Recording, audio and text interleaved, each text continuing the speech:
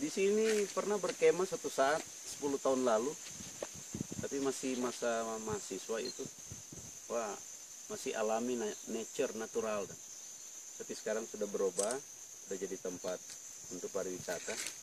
Tapi tetap tempat ini tidak akan terlupa, karena spirit di sini dibangun sampai sekarang. Ya termasuk mengenang teman kita Maksi.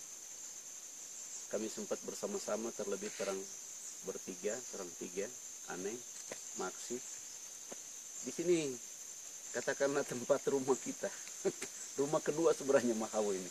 Karena hampir 100 kali orang datang di sini. Hampir 100 kali. Ya berbangga juga sampai sekarang boleh nikmati walaupun Maksi sudah ada. Merdep anak masih ada Marco Daniel.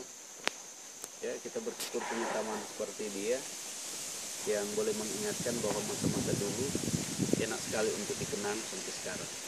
Oke, maju terus. Kapan pun kita akan maju terus.